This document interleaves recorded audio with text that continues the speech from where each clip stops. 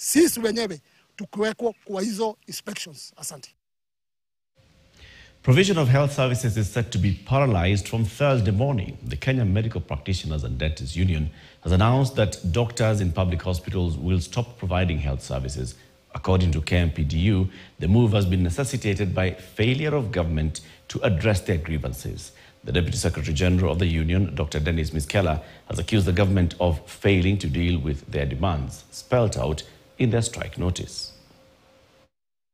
the ministry they want to hear the issue you're taking. So I don't think they're really keen on doing anything that we're asking them of or whatever they're promising to do. So that on Thursday from midnight there will be a health crisis because doctors will be joining government in the strike. I say joining government because it's the government on strike.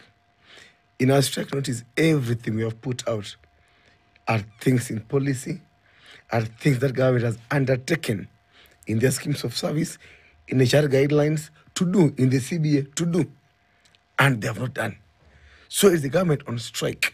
KMPD is just joining them. And what also triggered now this situation was that the interns, the clear internship policy developed by the ministry that every year the number of medical interns who come out, 1,000 approximately, they should be posted 30 days after graduation because these are people who have done seven years in medical school.